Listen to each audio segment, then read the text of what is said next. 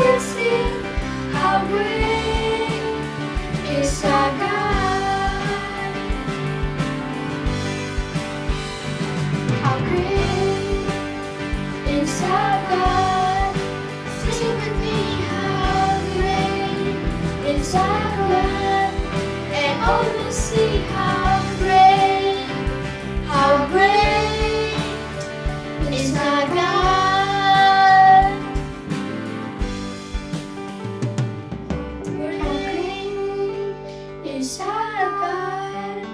Sing with me, how great is our God. See how great, how great is our God. Hello kids, good morning and welcome back to Champs on Demand. How was your week and how was your Father's Day celebration last week?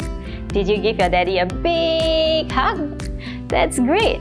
Oh yes, I want to tell you something super duper cool before we start. Champs is back at church.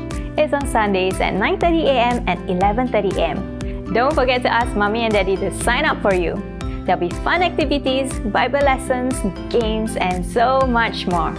Can't wait to see you at church. Last week, we learned why we need to go to church. Do you remember why it's so important to go to church? That's because God is there and His presence is stronger in church. We can all come together as a big family and worship. That's right, the church is a special and holy place, and we get to learn all about Jesus. Today, we will continue to learn why we need to go to church. Teacher, what if we are not good enough or have done something wrong before? Can we still go to church? Of course, church will be the perfect place for us. Look at all the heroes in the Bible. They weren't perfect, but God used them and caused them to shine. One of them was Paul. Let's check out how God made him shine. This is Saul. He hated the followers of Jesus a lot. He hated them so much that he would hunt them down and frighten them. He even told them that he would kill them. He went to the high priest and asked him to write a letter so that he could arrest the followers of Jesus. He wanted to bring them back in chains. On the way to Damascus, suddenly a bright light from heaven flashed around him. Saul fell on the ground and he heard a voice saying, Saul, Saul, why are you doing things against me? Saul cried, Who are you, Lord?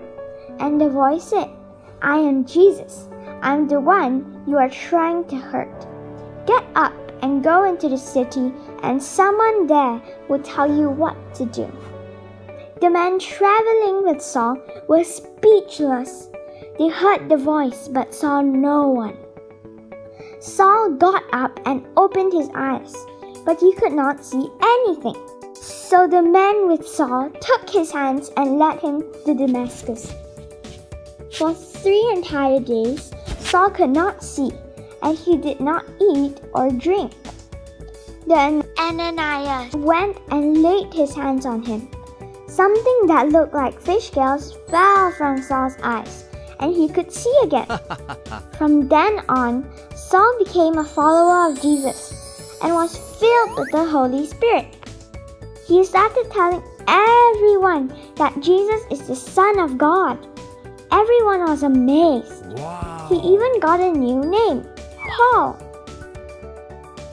He began to preach about Jesus everywhere he went.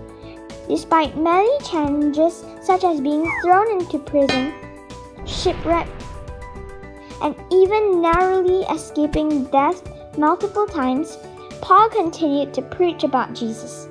This is because he knows that Jesus lives and knows that all his sins have been forgiven.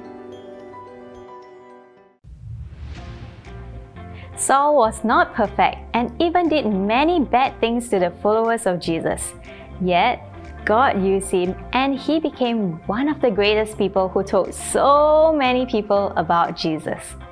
God never asked Paul to be perfect first. Instead, God changed Paul to be who God wanted him to be. In the same way, we don't have to be perfect before we can go to church. Another reason why we go to church is that we get to know all the gifts that God has given us. And we can use our special gifts and talents to serve, just like this. I wanted to go outside and play, but then it started raining.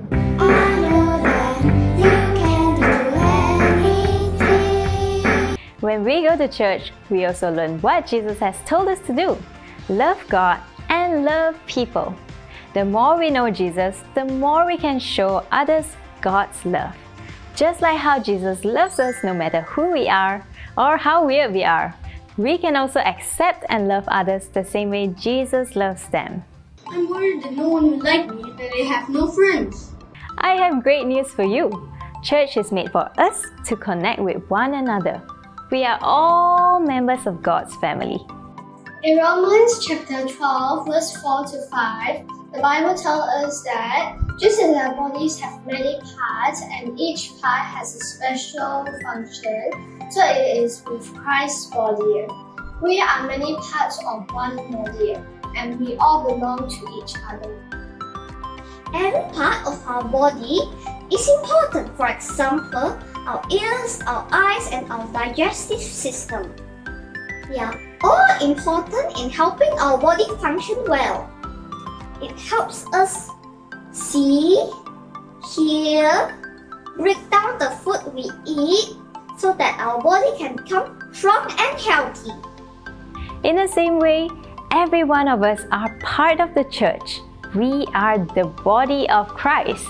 Because we are Christ's body, the church will also function well when everyone comes together and worship God. When we go to church, we grow together and become very, very strong. Try breaking this. Easy peasy. Was that hard to break? Nope, it was so easy to break. Now try breaking this. Okay.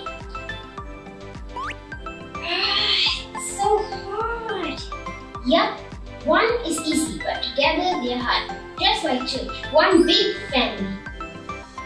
That's right. Church is where you and I learn more about God and His love for us.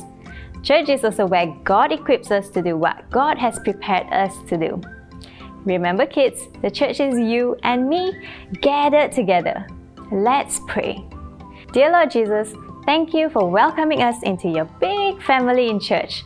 Help us grow together in your word that we may stand strong and feel belonged in this wonderful family of yours. Teach us to love one another and learn more of your word in church. In Jesus' name, Amen. Bye, kids. See you next week and see you at church.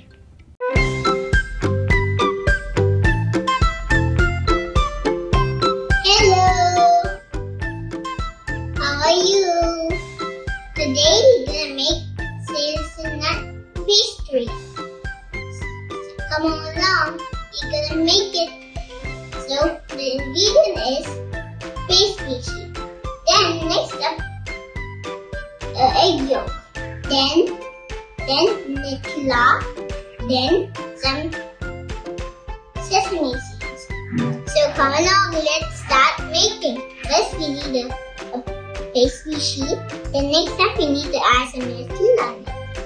let's add it.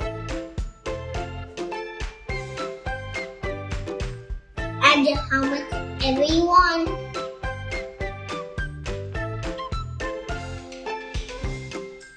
Then mix up we will close.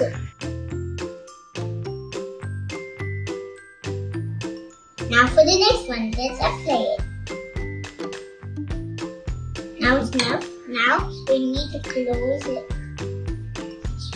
Then we need to then we need to seal I guess.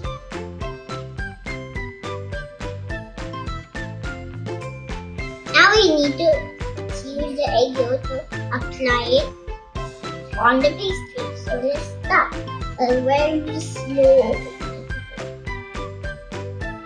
this I'm gonna give a nice Now we're gonna sprinkle this.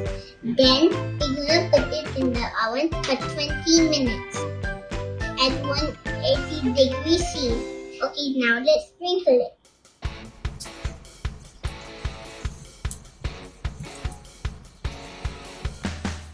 Okay, now we're done.